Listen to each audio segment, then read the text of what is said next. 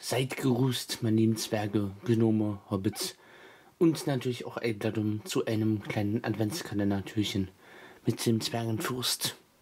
Heute möchte ich euch eine kleine Geschichte vorlesen, die ich mir selbst ausgedacht habe, die ich selbst geschrieben habe. Hier mit diesem schönen Hintergrund, das ich selbst zusammengestellt habe. Sieht ein bisschen gefährlich aus, ist es auch. Ich hoffe, es brennt nichts an.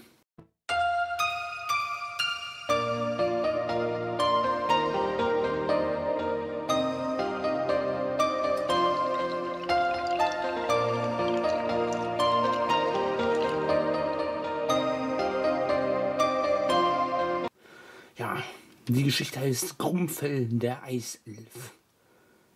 Es war einmal vor nicht allzu langer Zeit in einem kleinen Dorf in den Eishügeln des Polarlandes ein grüner Eiself. Sein kleines Hüttchen lag am Fuße eines der größten Eiswopfen. So nannten die Eiselfen die für sie gigantisch wirkenden Hügel des Polarlandes. Grumpfel war der Name dieses Elfen. Seine kleine Hütte war nicht schön, Sie war klein, dreckig und unangenehm. Aber dem Elfen Grumpfel war das egal. Er legte keinen sonderbaren Wert auf Schönheit, Schmuck oder anderen Unsinn. Allgemein war er sehr griesgrämig und stets mies gelaunt. In dem Bergdorf, das zu Fuße des Hauses lag, in dem der Weihnachtsmann im Winter seine Arbeit nachzugehen pflegte, in dem Dorf unter der riesigen Geschenkefabrik wohnten über 1000 kleine Elfen, in ihren kleinen Hüttchen. Groß waren sie nicht, die Hüttchen, aber heimelig und schön, wenn man es denn wollte. Viele der Elfen schmückten ihre Hütten mit bunten Ketten und Dekorationsartikeln unterschiedlicher Art. Doch Krumpfel war nicht nach Deko und Schmuck. Eines Abends in der letzten Woche der Vorweihnachtszeit stand den Elfen hoch auf den Wopfen, da läutete es vom Gipfel des großen Berges her. Die Alarmglocke läutete, wie sie nie zuvor geläutet hatte. Der Weihnachtsmann lag kränkelnd in seinem Bette. Die Eiselfen eilten hinauf, um den alten Weihnachtsmann beizustehen, in der Not. Die Heilerelfe hatte die ersten Vorkehrungen bereits getroffen. Der Weihnachtsmann lag fiebernd im Bette.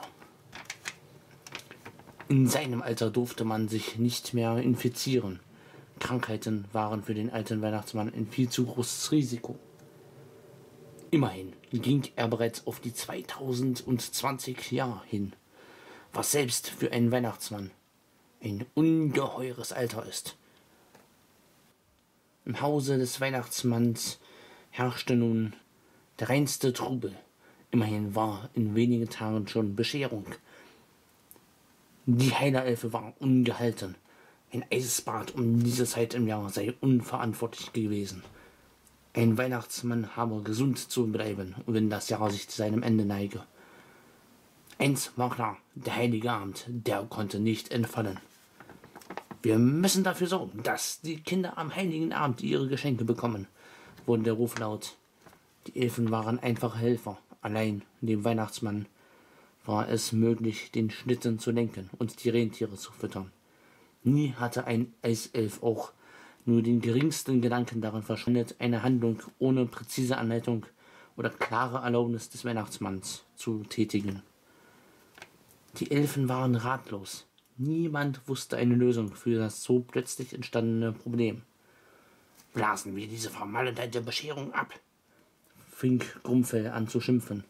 Diese kleinen Bilder sind den Aufwand nicht wert, auch nur ein winziges Päckchen zu verpacken, geschweige denn einen ganzen Rentierschnitten zu beladen und zu führen. Und dennoch tun wir es seit Jahrhunderten. Die Elfen schwiegen. Würde Weihnachten dieses Jahr ausfallen? Tja, das war meine kleine Geschichte, meine Kurzgeschichte, die ich mir hier aufgeschrieben habe. Ich hoffe, euch hat's gefallen. Hm? Daumen nach oben, sollte das der Fall sein. Lasst ein Abo da, wenn ihr neu auf meine Kanal seid und ja, kein weiteres Video mehr mit dem Zwangfest verpassen wollt. Es kommen ja auch noch andere Videos online, neben den Adventskalender-Türchen. Ich bemühe mich immer, da noch ein paar Videos parallel zu bringen.